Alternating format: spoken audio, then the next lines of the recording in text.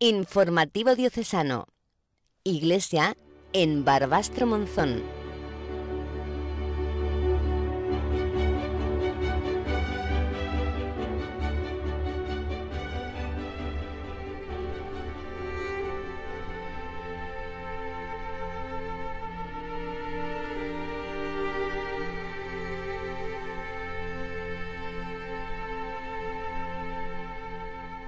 Noviembre. Miramos al cielo y vemos algo más que nubes. Miramos a nuestros familiares que se fueron. Les hablamos porque están. Lo sentimos pese a no verlos. Es un gesto de fe. Es fe.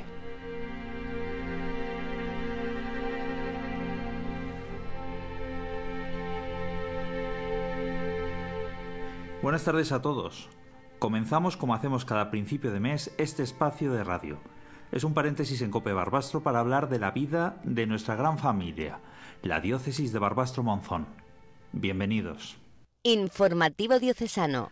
Tiempo ahora para la opinión con el editorial.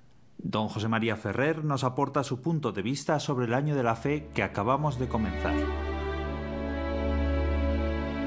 Editorial. El pasado día 11 se inició en Roma el año de la fe, que ha convocado el Papa Benedicto XVI para recordar el comienzo, hace 50 años, del Concilio Vaticano II.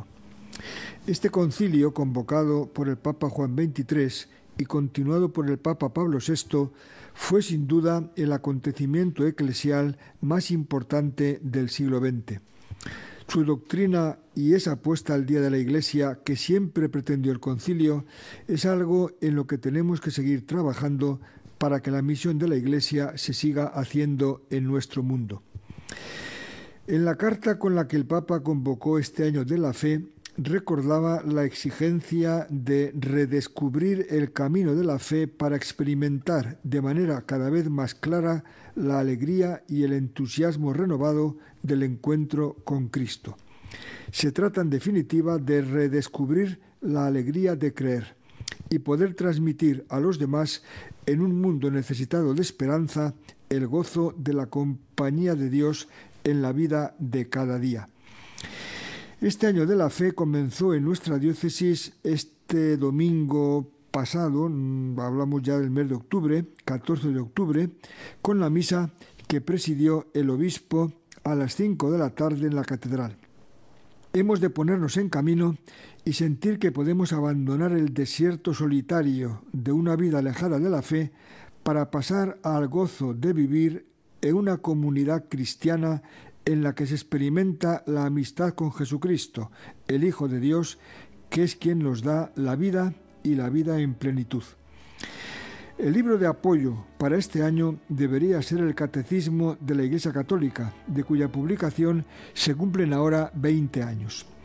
En este catecismo encontraremos una guía segura de formación cristiana. En él se resume y expresa la fe de toda la Iglesia, desde sus orígenes hasta nuestros días. Con este catecismo podemos conocer bien la fe que profesamos, celebramos, vivimos y rezamos. Hay mucha riqueza de vida en la fe cristiana y ojalá que en este año pudiéramos acercarnos a esa fe con renovado interés y renovada ilusión. Paz y bien para todos. Catequistas de todo Aragón se dieron cita en Alcorisa, Teruel, para compartir experiencias y retos que conllevan la preparación a los sacramentos. Nuestra compañera Rosa Latre, buenas tardes. Hola, encantados de estar de nuevo con vosotros en este primer viernes de mes. Bueno, estás aquí ahora porque eres catequista de comunión desde hace muchos años y porque estuviste y ahora nos haces una crónica de este encuentro. Adelante. Con voz propia. Con el de este año son ya 15 los encuentros que se vienen realizando en un sábado de octubre en diferentes localidades de las seis diócesis aragonesas. El encuentro del pasado sábado, día 27, nos ha llevado a más de 350 catequistas hasta las localidades de Alcorisa y Estercuel, donde visitamos el monasterio de Santa María del Olivar, en la diócesis de Teruel Albarracín. Son encuentros festivos de convivencia, pero en los que también se presentan el cartel y los materiales que luego se trabajan en todas las diócesis. Los catequistas, además de nuestra labor semanal con niños y jóvenes, tenemos que atender a nuestra propia formación, que realizamos en reuniones de reflexión, encuentros diocesanos y escuela de verano de catequistas. Los actos que tuvieron lugar en Alcorisa y Estercuel fueron a las diez y media recepción y café en el frontón municipal de Alcorisa. A las 11, saludo y oración en la iglesia parroquial de Santa María la Mayor y presentación del material de formación de los catequistas 2012-2013. Hay que decir que un grupo de jóvenes de Alcorisa nos acompañaron en el recorrido hasta la iglesia con los tambores y bombos que tocan durante la Semana Santa.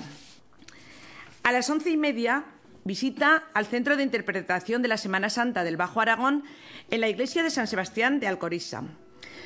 Luego nos trasladamos en autobús al monasterio de Santa María del Olivar en Estercuel, donde tuvo lugar a las 13.15 una Eucaristía, presidida por los obispos de Teruel y de Barbastro Monzón, y tras la misa, comida compartida.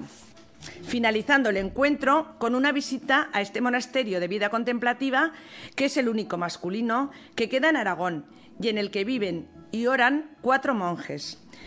Personalmente me gusta participar en estos encuentros por compartir con otros catequistas la alegría de la fe y me ayudan para animar de esperanza el trabajo en la catequesis, en el que a veces cunde el desánimo, pues querrías ver frutos inmediatos. El próximo año el encuentro tendrá lugar en nuestra diócesis de Barbastro Monzón.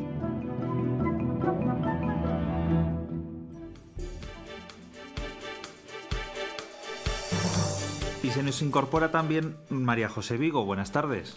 Hola a todos y muy buenas tardes. María José y Rosa nos acercáis la actualidad diocesana. Hoy el tiempo de noticias estará centrado en el comienzo del año de la fe. Noticias. Como sabéis, el año de la fe en nuestra diócesis comenzó el domingo 14 de octubre con una Eucaristía que presidió nuestro obispo diocesano don Alfonso Emilián en la Santa Iglesia Catedral de Barbastro. Desde ese momento comenzaba en nuestra diócesis el año de la fe, que el Papa Benedicto XVI ha inaugurado en Roma el día 11 de octubre, enmarcándolo en el 50 aniversario del comienzo del Concilio Vaticano II. En la misma celebración, el obispo diocesano hizo el envío de los catequistas y profesores de religión. Unidos a los sacerdotes de las parroquias y a las familias, ellos, en nombre de la Iglesia, anuncian la fe a niños, jóvenes y adultos. Propuestas concretas. El obispo diocesano en la homilía de la Eucaristía del comienzo del año de la fe, además de dar el significado a este año singular, propuso algunas actividades concretas en las que podemos participar para vivir más intensamente este año de gracia. Formación cristiana. Nuestra diócesis seguirá este año manteniendo la Escuela Diocesana de Formación Cristiana y dentro de sus actividades la modalidad concreta de formar parte de grupos de lectura orante de la palabra de Dios, que se constituyen en las parroquias. Este año se va a reflexionar sobre el Evangelio de San Juan y nuestro obispo don Alfonso anima a todos a participar en estos grupos. En este año de la fe, este es un buen camino para mejorar nuestra formación bíblica y cristiana. Caridad. La fe cristiana es una fe comprometida con el bien de los demás y la caridad es la mejor prueba de una fe sincera. En este momento social de España tan difícil para muchas personas y familias, nuestro obispo sugiere el medio concreto de entregar a Caritas un día de sueldo al mes durante este año de la fe, para que esta institución de la Iglesia pueda seguir ayudando a los que más necesitan la ayuda. Obtención de la indulgencia plenaria. El Papa ha concedido poder obtener la gracia de la indulgencia plenaria en este año de la fe. Esta indulgencia es aplicable en sufragio de las almas de los fieles difuntos.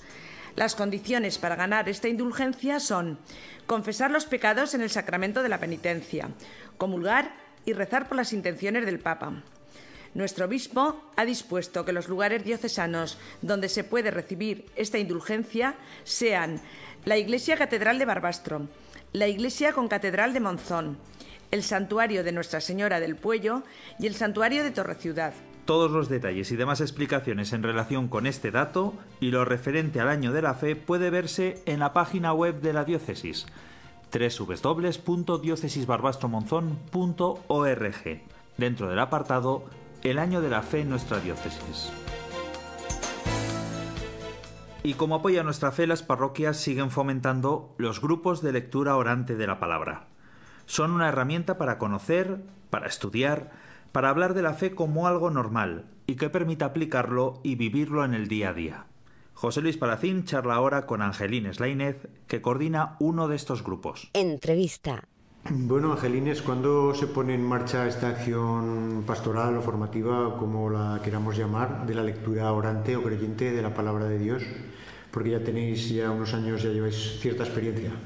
A nivel diocesano comenzó hace cuatro años y empezamos con el Evangelio de Marcos.